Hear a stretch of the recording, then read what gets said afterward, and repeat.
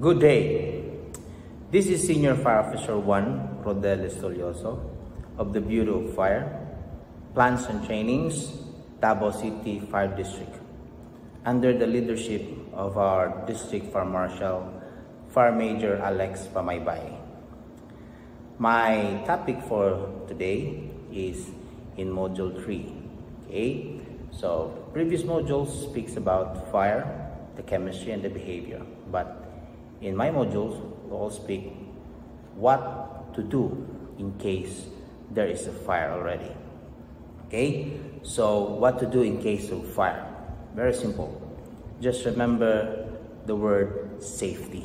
Okay, let's start with letter S. Okay, S stands for sound the alarm. Okay, so sa mga alarms na narinig ninyo, sa mga alam ninyo na mga alarms, what comes first in your mind when you when you hear the word alarm? Ano yung mga sound na pag narinig ninyo yun, it means emergency. Sige daw, let me try. Okay? Sound the alarm means call the attention of others. Okay? In terms of fire, when you say when you hear fire alarms, it is a continuous sound, just like that. It means evacuate, emergency, no? get out of the building. Okay? So when you hear a sound, an alarm, a fire alarm, a continuous one,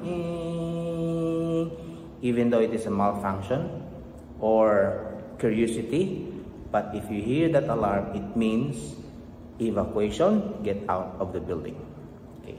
Another calling of attention is when you press the alarm and it doesn't function, no? Burn out or sira. So another one is shout by shouting, no? You need uh, your objective is to let others near you, within the room, within the hallway, or within the floor or buong building to know that there is an emergency. Okay? So, shout or shouting is one of the forms to call attention of others. So, why don't we try shouting? Sige daw. In a count of three, why don't you practice shouting? One, two, three. Alright.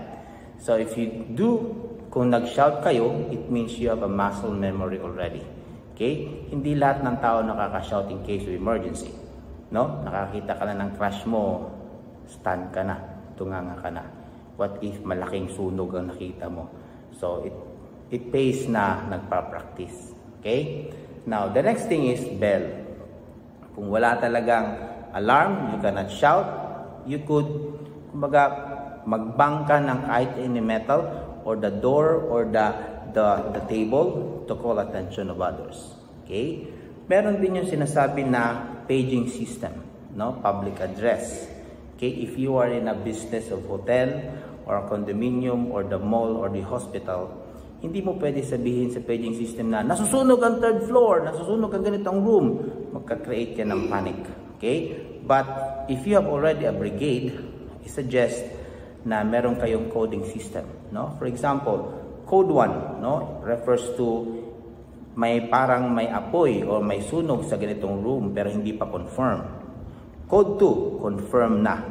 Code 3, it means labas lahat ng tao, hindi napatay ang apoy at lumalaki.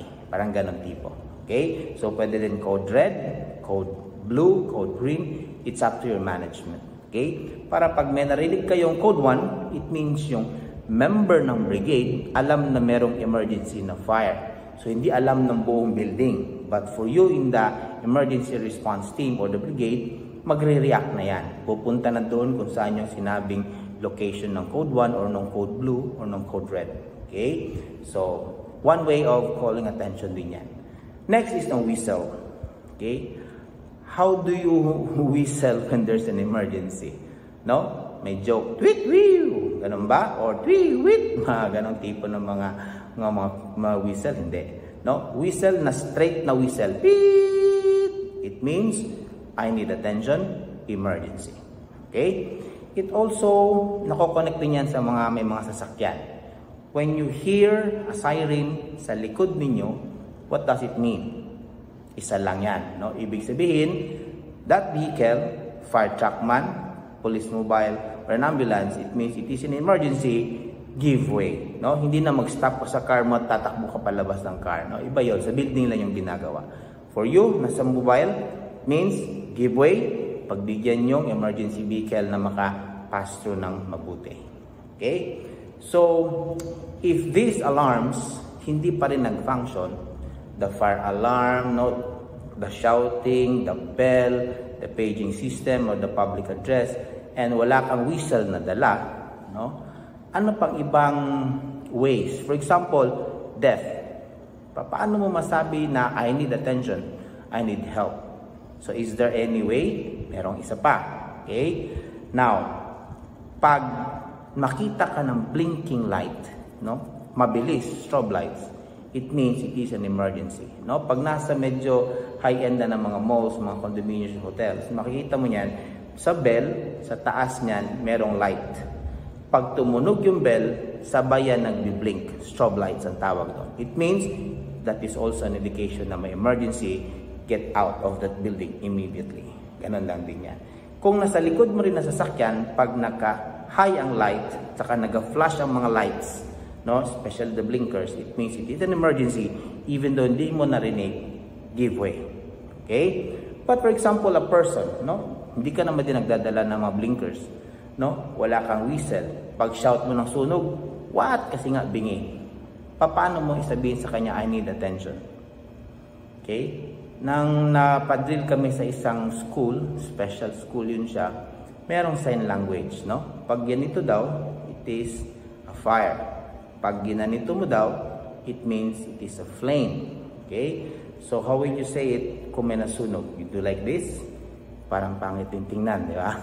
sa ibang usapan na yun. So, meron sinabi doon, when you raise your hand like this, okay? It means, I need attention, I need help, pwede mo maturong emergency. Okay? So, that's it. S stands for sound the alarm, whether it is mahina, medyo malakas, malakas buong building, you should do your thing, you should do your best na ma-alarm, sabihan mo yung katabi mo, kasama sa room, on the hallway, on the floor, on the building, that there is an emergency, especially if it is a fire. Okay? So that's it. S stands for sound the alarm. Okay. Next, we proceed to sinasabi na letter A. Okay, letter A na tayo. It means advise and activate the fire department. Okay. Um, marami nagsasabi na parating huli kung dumating no ang mga firefighters, ang mga bombero. Okay? Maraming dahilan, no? May nagsasabi kulang ng tubig, nagkuha pa ng tubig, no? Walang mga crew, pero lahat 'yan hindi yan totoo.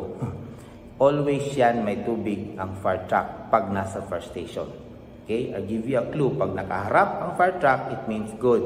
Pag nakatalikod or naka-open ang hood, it means under maintenance. Pero pag na may fire truck sa fire station, parating may tubig. Nahuhuli ang mga bumbero. Okay? Kasi nga, walang nag-advise. Now, let me ask you a question. Alam nyo ba ang telephone number ng nearest fire station sa inyong lugar?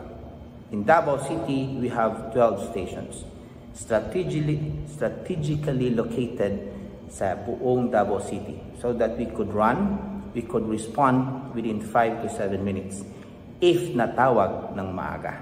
Okay? So, we have in Toril, Kalinan, Mintal, Talomo, or nasa Matinan area, the SIR. Downtown area, we have two, no? the Bangoy First Station and the Central First Station. Going north, we have um, Buhangin, we have Lanang, we have Panakan, Kabantian, and Bunawan. Okay? So, yun sa buong Davao City, strategically located ang mga fire stations, including our volunteers, no? Call it the volunteer white and the green and the 911. So, if the call, no, maagang natawag, mata maagang nakahingi ng tulong, makaresponde ang mga firefighters within 5 to 7 minutes. Now, the problem is this. Hindi alam ng public kung ano yung emergency hotline number natin. Okay? Nung naging mayor si Presidente Duterte dito sa Davao City, meron siyang project na Central 911. It is an emergency call center, no? So you just dial 911, then kukonek ka na kung anong emergency. Nung naging presidente ng mayor natin, dinala niya sa buong Pilipinas ang Central 911. It is an emergency call center. Now again, I'll ask you a question. Ano ang telephone number ng emergency hotline ng Central 911? The number is 911. No, medyo gishake ko lang. okay. You call it smart globe or the landline. You call 911, it is emergency. But very important to tell what is your emergency. Okay. There are four things na dapat lalabas sa mouth niyo when you call 911. Number one, you should say it first, what is your emergency? No? Sunog! Bakit? maraming agency connected sa 911 na emergency. Pag nagsabi ka lang ng help, malilito yung, yung operator, kasi nga call center ito, kung anong help ang gusto mo. Pag sinabi mong sunog, papadala siya ng fire or ng first aid, ng firefighters or the Bureau of Fire. Pag sinabi mong may magnanakaw, papadala siya ng PNP personnel. Pag sinabi mong medical help, papadala siya ng mga ambulances. Pag sinabi mong may terorista, papadala siya ng army or task force. Okay? Pag, pag sinabi mo may mga may mga wild animals doon, papadala siya ng mga pest control, mga ganon tipo. Okay? So, pag, pag sinabi mong may re-rescue, papadala siya ng mga rescue squad. So, depende sa hiningi mong emergency ng help. Kaya nga, you should be specific kung ano yung help. Okay? Second, you should say the clear location kung saan kayo. Okay? The number, the streets, and landmarks are very important. Okay? Then pangatlo, medyo critical din ito, medyo needed din ito. You say your name and the fourth is the telephone number you're using. Bakit? Even though high-tech na tayo ngayon, meron na siya ng caller ID, the, the operator behind, dapat ma-assure mo sa you're telling the truth. Okay? Kasi nga, maraming prank callers. Okay? Yes, marami tayong fire trucks, marami tayong ambulances. But compare it to the populations, medyo dito sa Davao City, we have almost 2 million. And ang fire tax namin siguro mga 30 units. Marami, pero compare mo sa in public, talagang liliit yun. Now, kung merong tatawag ng help, prank caller siya, sayang yung unit na tatakbo and you're wasting time, fuel, and also the lives of those people na magre-responde. So, make sure you say your name and the telephone number you're using para at alam ng operator na you're telling the truth. Okay. Now, advice is very important. Even though na maliit ang fire or malaki or natapos nyo ng patayin, you need to advise the fire department na merong nangyaring sakuna. Okay? 24-7, kahit anong oras, pwede nyo tawagan, that's our job. Okay? Papatay namin yung apoy, no? mag investigate kami para hindi na maulit yung ganong tipong mga aksidente. Okay? Now, for the activation of fire brigade, If you are a big company, hotels, mga malls, or mga hospitals, or big-time condominiums, um, before renewing your your permit every year, hinahanapan niya ng mga inspectors namin kung meron kayong brigade. Kung lumampas kayo ng 50 personnel in that area, one time lang, 50 personnel, it means you need to have a brigade. Maganda kasi pag may brigade. Kasi nga, in case of any emergencies, especially kung fire, merong magre-responde sa fire. Hindi na kayo magtuturuan. Trained yan sila. May magme-medical, may magre-rescue, may tatawag, may mag gikwan na sa ev evacuation, the rest. Okay? So medyo hindi masyado stress ang mga tao doon. In 5 to 7 minutes, darating yung mga agency, pwede nyo i-turn over lahat ng trabaho, then the rest is history na.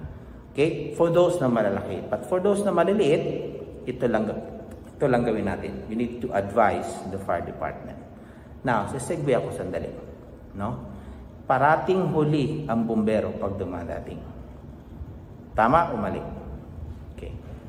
Talagang huli dumarating ang mga bumbero. Kasi pangit tingnan kung nauuna ang bumbero. Di ba? Maya-maya may mag-park na fire truck sa front ng house ninyo. Sabi nyo, Sir, ba't kayo nandito? Maya-maya, masusunod kayo. Parang pangit tingnan. Okay? So, always yan sila huli dumating. But if you call early, the response will be also early. That's it. S, sound the alarm, then advise the fire department. Now, if in case medyo lumaki konti yung fire, no? Letter F stands for fight the fire. Okay? That is, if possible. Okay? Previous modules, no? Doon sa partner ko, si Senior Officer King, sinabi doon kung paano labanan yung fire. Anong klaseng mga fires? Paano siya if-fight, no? But dito, meron tayong isang technique lang, no? Lahat ng mga methods kanina, in one technique lang dito ngayon. Okay? Fight the fire if possible. But I'll give you a warning. Don't play hero. Okay? Lahat ng mga hero, parang masama ang nararating nila at the end. Why? Pag mag-responde ka, okay, be sure na again, i-repeat namin ito. Number one priority is your life and your personal protection. That is the first priority. Sir, ang loved one ko naiwan sa loob ng room. Yes, may tendency talaga tayo magre-rescue. But, I'll ask you a question. Are you equipped to do that? Wala. Are you trained to do that? Hindi. If you cannot hold your breath beyond 60 seconds, pag nag-inhale ka ng mga toxic gases, monoxide, dioxide, shut down your brain, shut down your lungs, magkukulaps ka. Karamihan sa namatay during sunog, na-suffocate mo na before na burn alive. Okay? So, don't play hero. Yes, masakit mawalan ng loved ones if ever na, na, na naiwan doon. Pero pag nag-play hero ka doon, hindi ka equipped, hindi ka trained, dalawa na kayo. Mas masakit yun sa family na maiwan. Kuha. Okay. Now, it's normal na kabahan. Pero, always stabilize mo ng situation. Sir, pag malaking fire talaga, lahat ng bumbero, kinaka, kinakabahan lahat ng bumbero, no? Bumibilis yung, yung heartbeat niya. I've been almost 21 years na in service. Okay, so medyo marami-rami na rin ang mga responde. Pag malaking fire, kinakabahan din. Pero bawal ang tinatawag na magpapanik. Nagsha-shutdown ng brain. How do you do that? You ask, what happened? Saan ako? Am I safe? Pag nasagot mo yung mga series of questions, medyo kakalma ka. Kasi nga alam mo na kung gagawin. Huwag ka muna mag-react. No? Think muna, set yourself before mag-react. Kasi kung magre-react ka agad bigla, might be hindi talaga maganda ang mangyayari. What if tumakbo ka agad? Tumama yung tummy mo or nung lower ng tummy mo sa corner mismo ng, ng, ng mga table. So, medyo masakit yon Pwede ka magkukulapse, no? So, ganun muna. Okay? Fight the fire if possible. Okay? So, meron tayong isang instrument, ay isang um, uh, aparatos na gagamitin natin para pampatay doon. No? Ito ang tinatawag na fire extinguisher. Okay? Kapakita ko saglit. Okay? Kung ano yung fire extinguisher.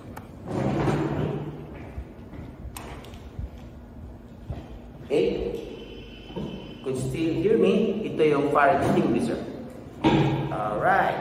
So, fire extinguisher. No? Marami sasabi fire wisher. Okay. Para hindi mahirapan, fire. Okay. But before this, uh, alamin mo natin ang parts. No? Maraming parts ng fire extinguisher. Let's start with this cylindrical thing. This is the tank, no? method. No?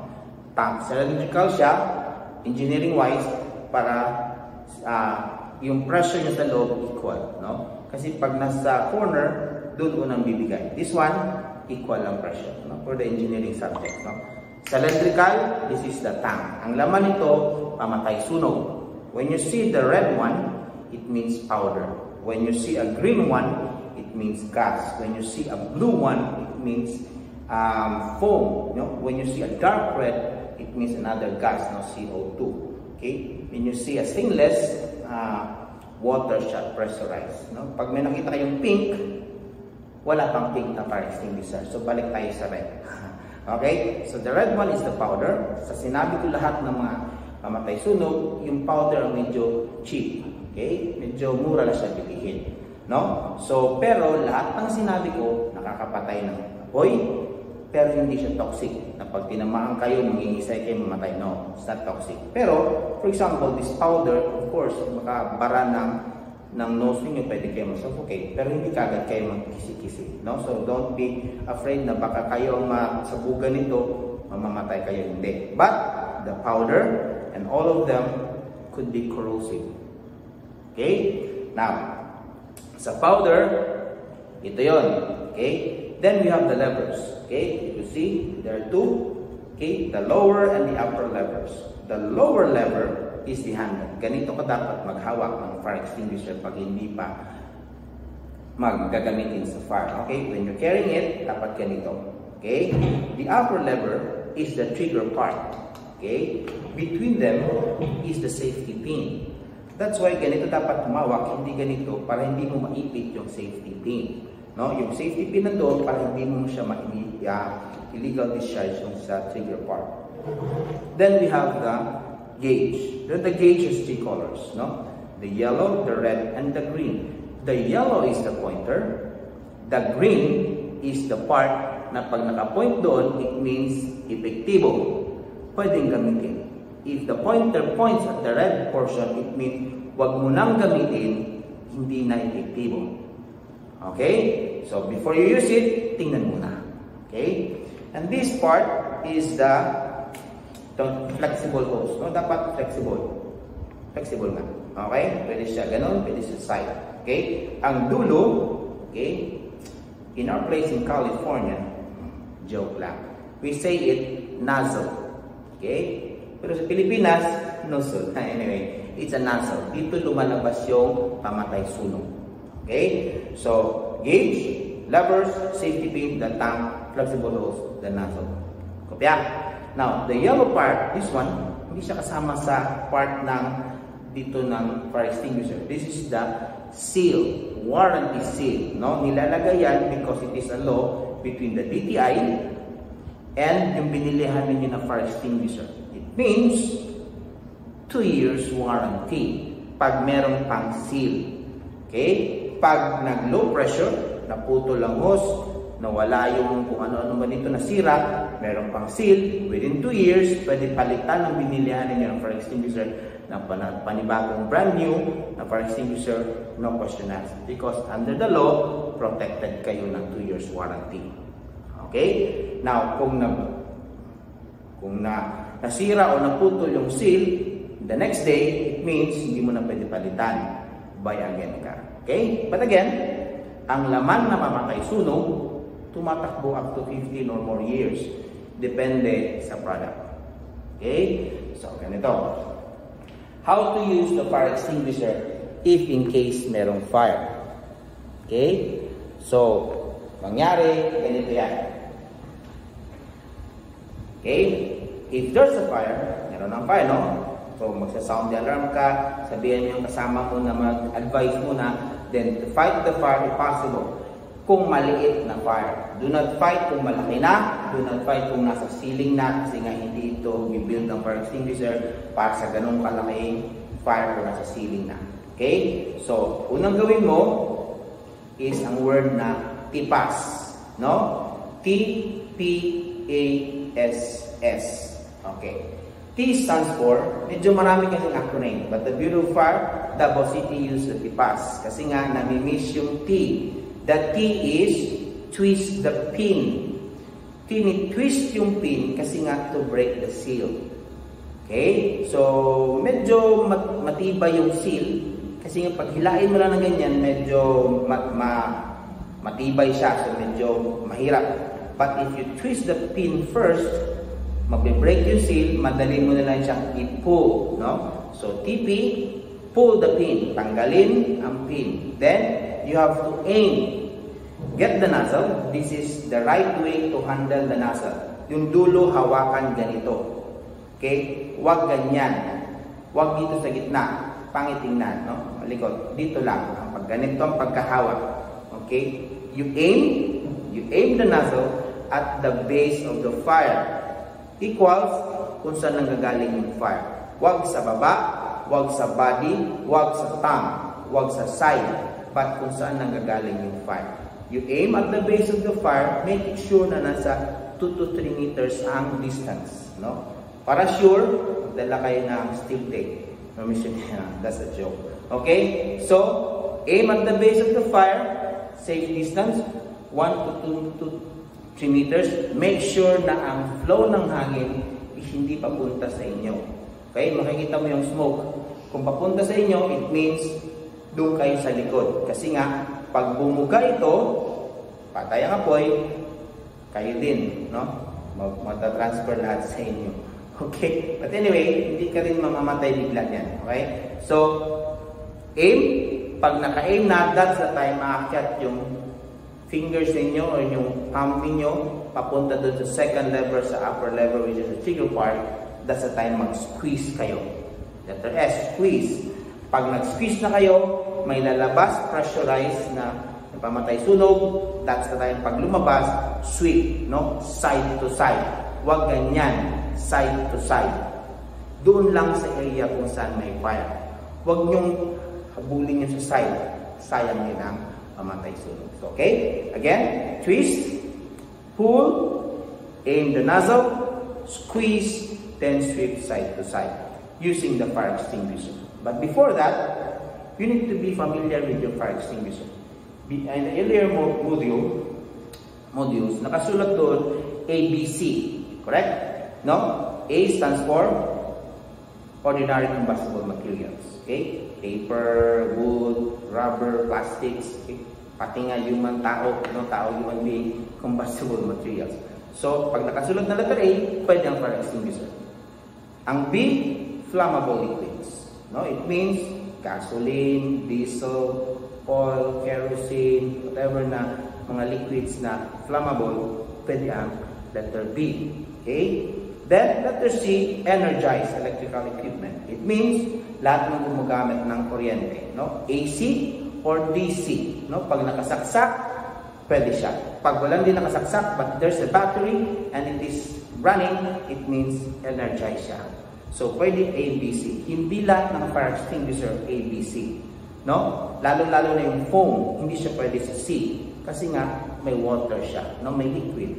So, alam niyo natin yan, na conductor of electricity ang tubig. So, pag dinanatan mo yun ng liquid, pwedeng lalaki yung damage, pwede kang madadamay. Okay? So, hindi lahat ABC. Pero karamihan, ABC. Okay? Hindi din lahat ng fire extinguisher, merong A. No? Most of them, most of them but ABC. Pero merong isa lalo na yung mga gas form, hindi sila gumagamit, hindi sila effective sa A. Okay? But tingnan nyo muna before you buy. Okay? So, how to use fire extinguisher? Okay na tayo. Okay? Very good. Next is, pag pinatay mo yung fire, fight the fire, medyo may time kasi na hindi napamatay, no? May advanced stage na. So, the next is E, evacuate the area. Okay? That's why there's always an evacuation plan sa malalaking mga building. Hinahanapan niya sila ng mga bumbero every time during New Year permit. Balik-balik ang drill so that meron ka ng muscle memory how to evacuate. Segway muna tayo. Pag nanonood kayo ng mga sine, what do you do first time pagpasok nyo? First thing, pagpasok nyo ng sinihan. Huh, wala na akong pakialam dun no, kung sino kasama nyo or nag-holding hands kayo pag-upo nyo, make sure to read on your mind yung fire exit. Don't read it aloud. Fire exit! Nakakabulabog kayo niyan. You tell your kasama na merong fire exit doon sa baba, sa kaliwa, merong fire exit doon sa kanan, sa baba. Why? Pinasok nyo na sa muscle memory nyo, pinasok nyo na dito sa brain niyo na merong exit doon. Kasi nga, kung hindi mo pinasok yun, hindi mo dinigest yun, in case of emergency, ang muscle memory mo is kung saan ka pumasok, doon ka rin babalik. Magkakaroon ngayon ng stampede. Pero kung alam ng memory mo na meron palang exit doon, kumbaga, hayahay kung sa Bisaya. No? Walang tao, alam mo ang labas. Yung far exit kasi, the word far exit, it means paglabas mo, safe ka na. When you say an exit and an arrow, it means the exit is going there pa. So you need to prepare yourself na paglabas mo dyan, it's not really the exit, but papunta pa doon. No? Lalo na pag may running man. It means paglabas mo doon, tatakbo ka pa, papunta doon na side. So that's it. So you need to evacuate the area. You should know kung saan yung mga evacuation area. If you are in a hotel, best practice, when you close the door of your room, again, wala akong pakialam kung anong ginagawa nyo doon, you should see the evacuation plan. No? Sa likod ng door, may evacuation plan. No, may nakasulat doon na You are here. Now, good. Hanapin mo yon, then make sure na dalawang in separate direction yung exit plan. In the red arrows, then verify siya kung talaga bang may exit doon. Okay? So, tip, sana hindi ito nakakasira. Make sure na mayroong windows. No? Make sure na meron talagang exit points. It's up to you if you want to stay with that hotel or that room. Kasi nga, in case of emergency, pag wala kang mga exits, delikado din yan. Okay? So, you know the straight route para at least mabilis makalabas. Now, paano mag-exit ngayon? Now, wait, wait. Mag-exit ka, lalabas ka ng building if you hear the alarm. Of course. No? Pag tumunog yung alarm, wala na ibang ibig sabihin nun, labas ka, hanapin mo yung exit route, then labas ka doon. Now, paano ka ngayon mag-exit if the smoke is very heavy in that room? For example, you're in a function room. Paano? Mga mga bata alam nila nito. No, you have to drop. Okay? You crawl and go to the exit door, no? Stop, drop and crawl. Bakit? Kung early stage pa, yung init, yung mainit na, na smoke and the rest, nasa taas yan. Meron pang mga breathable air, no? Breathable, not clean air, sa baba, kung maaga pa. It means pwede ka pa mag-survive, that's why you crawl. Tsaka hindi mo ma-inhale yung mga toxic gases if you keep on standing. Kung matagal na, huwag ka nang mag-crawl. Pwede ka mag-crouch, hanapin mo yung exit, then labas. Okay? So, stop, drop, then labas. Now, if in case yung damit mo naman ang nadapuan ng fire. Caught by a fire, yung, yung, yung mga clothings mo. Anong gawin mo? Don't run. If you run, on the previous module, ang kinakailangan ng fire is an oxygen. Isa sa mga makakatulong sa kanya, keep on burning. So, stop, cover your face, drop, then you roll. How do you do rolling? Okay? You don't roll na tuloy-tuloy, no? Labas ka ng door, baba ka ng second floor, labas ka ng hindi ganon. It means you drop, you roll on your side, right or to your left, no? On your belly, on your back, maybe three times or twice. That's the the way how you roll. Hindi yung roll na tuloy-tuloy, no? Baka mabang mo yung head mo. You do that in a safe area. Of course, hindi doon sa nasusunog na room. Pag nandoon ka sa nasusunog na room, nagro-roll, lechon ang tawag nun. Don't do that. Okay? In a safe place, doon ka mag-roll. Para yung mga kasama mo, pwede pa nilang tulungan patayin yung fire. Okay? Now, do not use elevator. Why? Sa mga bagong guidelines ngayon or sa previous pa na mga guidelines namin, pag may fire, automatic, yung nearest person or yung safety officer, pinapatay always ang main switch kuryente. It means, hindi ka pwede sumakay ng elevator. Kasi pag namatay yung, yung kuryente, magsa-stop yung elevator. Nasa loob ka ng elevator, pag naiwan ka doon, pag open na mo pero baka chokes to go ang mangyari. Don't do that. Okay? Meron din mga technology ngayon, lalo na sa mga first world country, pag na-press ang emergency, it means bababalat ng elevator, open, hindi na aakyat. So, the best way is to use the exits. That's why, in the Republic Act 9514, at least two fire exits ang ni-require sa bawat building. No? In separate direct, in separate locations. No? Opposite pala, ibig ko sabihin. No? Para kung sa kaliwa, hindi pwede, sa kanan katatakbo. Ganon tipo. Okay? So, always use the fire exits. Do not use the elevators. Okay? That's it. Evacuate. When you hear this, the alarm, evacuate. Wala lang tanong-tanong, evacuate. No? False alarm, better na doon sa baba, ay false pala. Kaysa naman na last ka na naka-evacuate. No? If you cannot hold your breath for more than 60 seconds, then that's another story. Okay? Then after evacuate or evacuation, we have that T, no? Tell others. Ano yung tell others? Ibig sabihin, pag dumaan ka sa mga rooms, you need to knock the rooms Hey, bang the rooms. Hey, nasusunod tayo, labas na kayo. Kasi nga hindi natin alam, nung sa loob, might be, meron mga headpiece, natutulog, or whatever kung anong ginagawa nila, hindi sila aware sa labas. you need to bang the door, hey, lalabas tayo, sunog, sunog, labas tayo. You have to tell others to get out of the building. No? Huwag naman pag nakita niyo yung nakasulat, manager, supervisor, ito, masyadong stricto, pass. Walang pass, no? Kahit galit ka dun sa tao, you need to bang the door, tell the per persons inside, hey, may sunog, may emergency, get out of the building. Okay. Now, mag-segue ako konti sa earthquake. Di ba, moment ago, sabi ko, once you hear the alarm, it means get out of the building. So, magsusunog muna before mag mag-alarm, then get out of the building. Correct? Or, after shaking, pag nag-earthquake, wala mo nang gagalaw. After shaking, someone will hit yung alarm paglalabas. E kung sira na yung alarm after shaking, pero that's the cue. Pag tapos na mag-shake, that's the time lalabas kayo.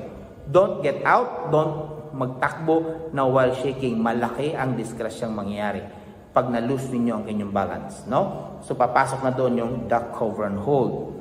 Give me a few seconds on this. Duck cover and means duck, ilalim, hold. It means hawakan nyo yung mga kumbaga, legs ng table, not your head. Kasi nga, pag nag-shake yun, kung head ang hinawakan ninyo, tatakbo yung table. So, the legs of the table. Then, cover and hold. Doon ka sa ilalim ng table. Kung walang table, doon sa chair. Okay? But that's another story. Now, before kayo magtakbo palabas. Now, if you're in a high-rise building, nasunog ang third floor, nasa 10th floor ka, no? Sabi ng bumbero, get out of the building it means dumaan ka ng fire exits. Hindi ka tatalon sa bintana. Ibang usapan na naman din yon. Okay? So, try your best na dadaan ng fire exit. In our part, the Bureau of Fire is also doing our part na yung fire exit, chinecheck namin yon na hindi siya nauunang nasusunog in case of fire. Okay? So, if you could see some medyo iba, you could tell your administration or magsumbong kayo na hindi safe yung fire exit para mapuntahan namin ulit. Okay? So, tell others is the right way. The last, okay, is you get clear. Ibig sabihin, isa lang. Once nakalabas na kayo ng building, do not attempt to go back inside. Ay, naiwan ko yung cellphone ko, 10 gigs pa yon hindi pwede balikan. Okay, naiwan ko yung sweetheart ko, hindi pwede balikan. Why? Karamihan ng bumalik, whatever the reasons, wala na silang story to tell, alive, na buhay pa sila na bakit silang bumalik. Most of them or all of them patay na. Pabalik ka pa lang, nag-inhale-exhale ka na ng toxic gases, nagko-collapse ka na. Okay? So do not attempt to go back. Once nakalabas ka na, yun ang pinaka the best gift is your life, your personal protection. You have another day to tell. You have another day to work to earn kung ano may nabalik mo doon. Importante is buhay ka. So, um, I cannot ask questions because you cannot answer also. okay? If you have questions, you could go to our website or you could call us, go to our offices or to any fire stations near you. But for this pandemic, you could go to plans and trainings, dcft.gmail.com. Okay? Pwede ka mag-ask ng questions doon. Again, plans and trainings, DCFD, Davao City Fire District, okay, dot gmail.com. Okay, so again, what to do in case of fire for this module, remember the word safety. Sound the alarm, always sound the alarm, advise, no, or call the fire department, fight the fire if possible, okay, evacuate the area immediately, then tell others, then you get clear That's it. So I hope may, may na-impart kami sa inyo. Again, this is Senior Fire Officer Juan Rodeles Tulioso of the Plan and Training Section, Davao City Fire District under the leadership of our District Fire Marshal, Fire Major Alex Pamaybay, or Fire Chief Inspector Alex Pamaybay. Thank you for listening and God bless.